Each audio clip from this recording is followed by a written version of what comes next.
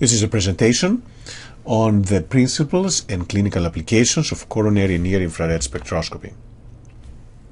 Near-infrared spectroscopy is a novel intravascular imaging modality that is FDA approved, similar to optical coherence tomography and intravascular ultrasonography. In this presentation, we'll attempt to provide an overview of the technique and principles underlying the performance of near-infrared spectroscopy, describe its clinical validation as well as its clinical applications. How does near-infrared work?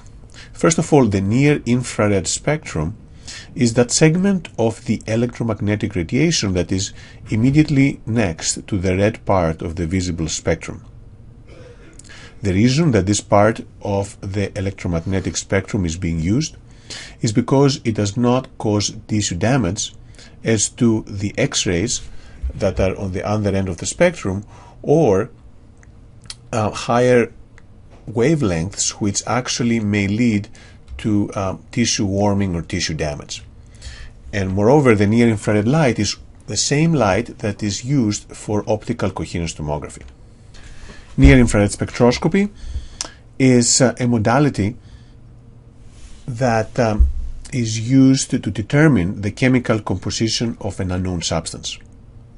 The underlying principle is that every chemical substance has a unique signature when a near infrared light is shone on that on that substance.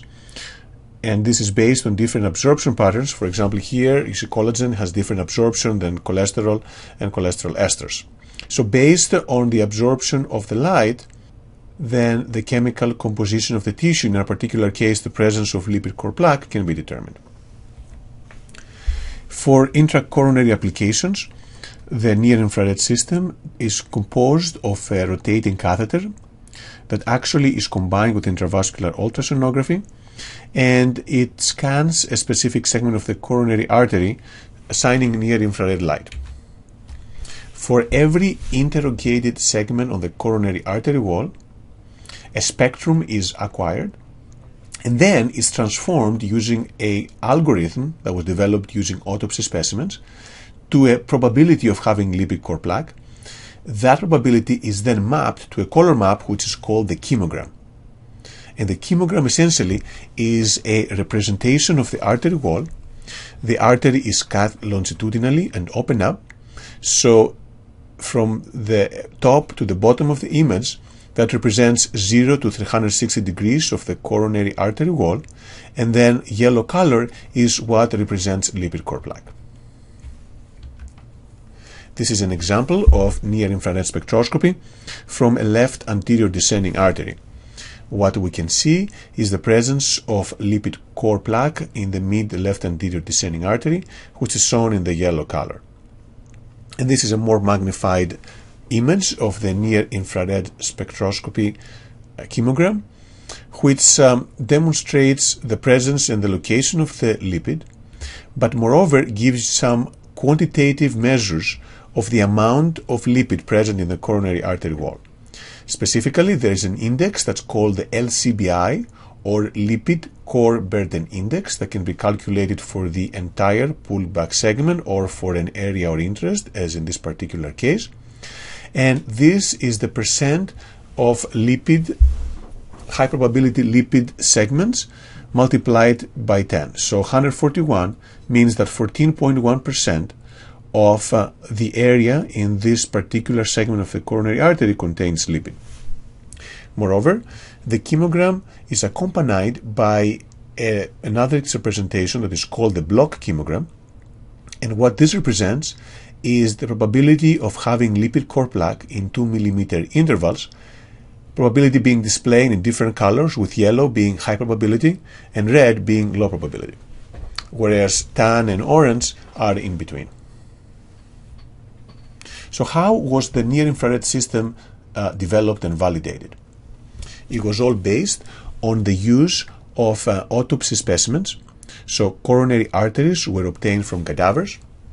They were suspended into a perfusion chamber, and then near infrared spectroscopy pullback was performed with simultaneous perfusion of the artery. Several um, millions of spectra were obtained in those segments, and were subsequently used to develop the algorithm, which was shown to have a good prognostic capacity for the presence of lipid core plaque. So for vessels less or equal to 3 millimeters, the area under the curve was 0.80, whereas for vessels that were a little smaller, less than 2.5 millimeters, there was even higher area under the curve. Moreover, in a subsequent study, near infrared spectroscopy spectra were obtained from uh, live patients and when those were compared with the autopsy study specimens, there was some good correlation suggesting that the signals obtained in the autop autopsy specimens were actually representative of what is happening in live patients. How about the reproducibility of near-infrared spectroscopy? This has been demonstrated both uh, for between the different catheters so for example, this is uh, a near infrared pullback performed uh, first catheter, the same done with the second catheter, and then done again using the second catheter. And as you can see, there is excellent correlation between the two. And there are several publications, including this one from our group, that demonstrate that there is excellent reproducibility of the study, which validates it and also makes it a good modality for long-term or longitudinal imaging of coronary arteries to detect changes in lipid content over time in response to various anti-atherosclerotic strategies, which is exactly one of the clinical applications of near-infrared spectroscopy. But the first application is to better understand the pathophysiology of coronary artery disease.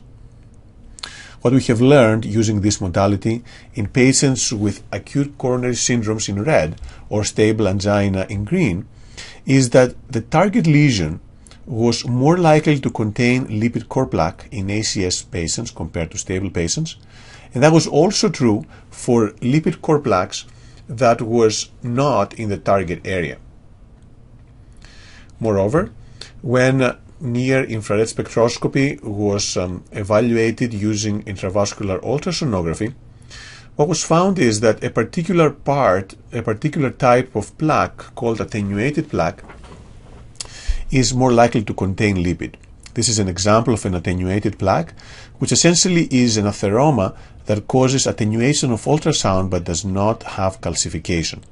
And there are several studies showing that having attenuated plaque is associated with no reflow or is associated with post-procedural myocardial infarction with a larger amount of attenuation being more highly attenuated with no reflow.